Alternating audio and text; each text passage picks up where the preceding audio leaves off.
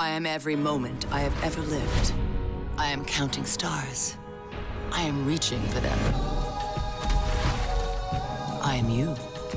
And together, we can change the world.